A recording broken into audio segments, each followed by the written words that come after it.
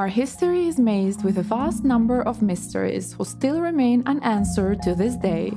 The true identity of Jack the Ripper, the fate of the Ark of the Covenant, JFK's true killer, and many more.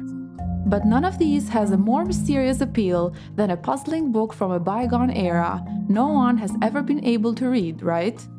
Unbeknownst to the world for centuries, a mysterious medieval codex lay hidden, waiting to reveal its secrets to those inquisitive enough to unravel its cryptic pages. Ladies and gents, this is the story of the Voynich manuscript, named after the one man who rediscovered it in the 20th century, lest it would have been nameless forever. The Voynich manuscript is a medieval document that has baffled researchers, historians, and cryptographers for centuries. The book is of unknown origin and purpose, written by an unknown author in an obscure script, adding to its allure and mystique. The Codex has had an ambiguous history and disputed ownership since its appearance at the end of the 15th century or during the 16th century, although some theories suggest alternative timeframes and potential regions of origin, such as Central Europe, Italy, or Germany.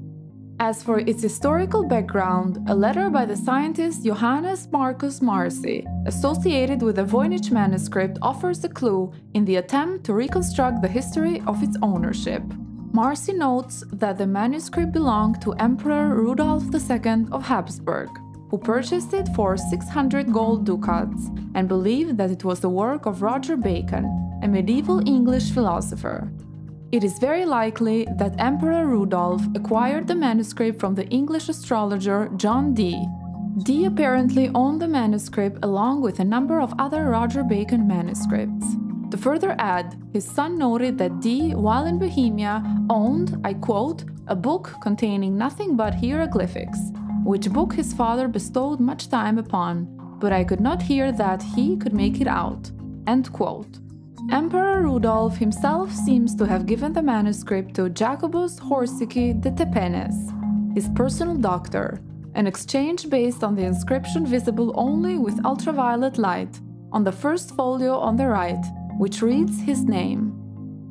Johannes Marcus Marci of Kronland also presented the book to Athanasius Kircher, a German Jesuit scholar and polymath, in 1666.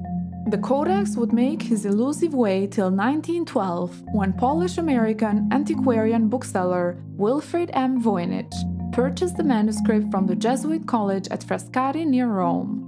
In 1969, the Codex was given to the Beinecke Library by H.P. Kraus, who had purchased it from the estate of Ethel Voynich, Wilfrid Voynich's widow. The original Voynich manuscript is currently housed at the Beinecke Rare Book and Manuscript Library at Yale University, where it is carefully preserved and protected. In recent years, digital copies of the manuscript have been made available online, allowing scholars and enthusiasts to study it more closely. And now, let's delve deeper into the manuscript's enigmatic eternity, the physical characteristics of the Voynich manuscript, surely contribute further to its intrigue.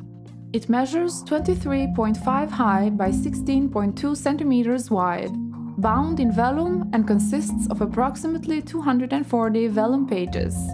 Carbon dating has placed its creation between the early 15th century, specifically around 1404 and 1438. The vellum used in its construction is believed to have been sourced from calf or goat skin, indicating the manuscript's high quality and value. The script known as the Voynich script is composed of elaborate and unique characters, resembling a flowing cursive handwriting style. The writing is in a brownish black ink of variable darkness and appears to have been executed with a quill pen. When examined with ultraviolet radiation, it displayed a deep velvety purple black, which suggested the use of an iron gall ink. Described as a magical or scientific text, nearly every page contains botanical, figurative, and scientific drawings of a pastoral but quite lively character, drawn in ink with vibrant washes in various shades of green, brown, yellow, blue, and red. As I mentioned, the language it represents has yet to be deciphered and appears to be unlike any known language. Accompanying the text are numerous illustrations depicting plants, astronomical diagrams, astrological symbols, and other mysterious drawings. These illustrations fall into six different divisions, starting with the botanicals, which contain drawings of 113 unidentified plant species. Astronomical and astrological drawings, including astral charts with radiating circles, suns and moons zodiac symbols such as Pisces, Taurus, and Sagittarius, nude females emerging from pipes or chimneys, and courtly figures. A biological section containing a myriad of drawings of miniature female nudes, most with swelled abdomens immersed or wading in fluids and strangely interacting with interconnecting tubes and capsules. An elaborate array of nine cosmological medallions, many of them drawn across several folded folios, and depicting possible geographical forms. Pharmaceutical drawings of over 100 different species of medicinal herbs and roots portrayed with jars or vessels in red, blue, or green. And lastly, continuous pages of text, possibly recipes, with star-like flowers marking each entry in the margins. Numerous attempts have been made to decipher the Voynich manuscript, employing statistical analysis, linguistic comparisons, code-breaking techniques, and computer-assisted algorithms. However, no breakthrough has been achieved, and the manuscript's meaning and purpose remain elusive. The unique characteristics of the text, such as patterns of repetition and variation, have presented significant challenges to decipherment efforts. These patterns have led researchers to believe that the script represents a structured and meaningful language, rather than just a random arrangement of symbols. Over the years, various theories have emerged regarding the manuscript's purpose and content.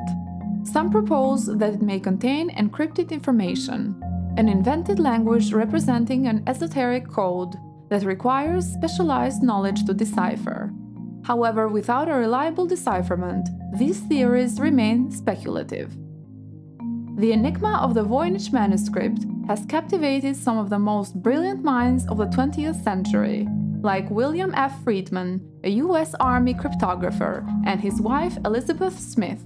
Friedman and Smith founded the Voynich Manuscript Study Group in 1944, and their research was the first to utilize computers as a means of textual analysis. They theorized that the manuscript was produced in southern Germany or northern Italy, and originated in the early 16th century, which carbon dating has now proven to be a century too late. Friedman's final thoughts on the text were that it was an early attempt to construct an artificial or universal language of the a priori type. In other words, Friedman believed that the cipher was not, in fact, a cipher at all, but simply an attempt at linguistic experimentation.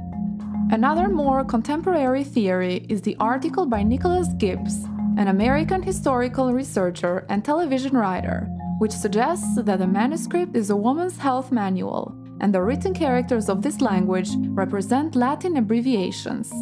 This speculation was soon to be disputed, on the account that the supposed Latin used in the book doesn't result in real Latin characters that actually make sense. Despite the lack of a definitive solution, the Voynich manuscript's authenticity is widely accepted. Extensive scientific analysis of the materials, including the vellum and the pigments used, suggests that the manuscript is indeed a genuine medieval artifact. Furthermore, its historical provenance and documentation trace its ownership back to the 16th century, reinforcing its credibility as a genuine historical document. In conclusion, the Voynich manuscript's enduring mystery has captivated the imagination of many leading to numerous scholarly investigations and popular fascination. It has inspired works of fiction, academic studies, and dedicated communities of individuals who continue to explore its secrets. Despite extensive research efforts and advancements in technology, the Voynich manuscript remains an unsolved puzzle, defying decipherment no matter the existence of numerous theories from different periods. Five centuries later, the Voynich manuscript still stands as a testament to the limits of our current knowledge and the allure of enigmatic historical artifacts, while also being one of history's most lasting enigmas. Thank you for watching.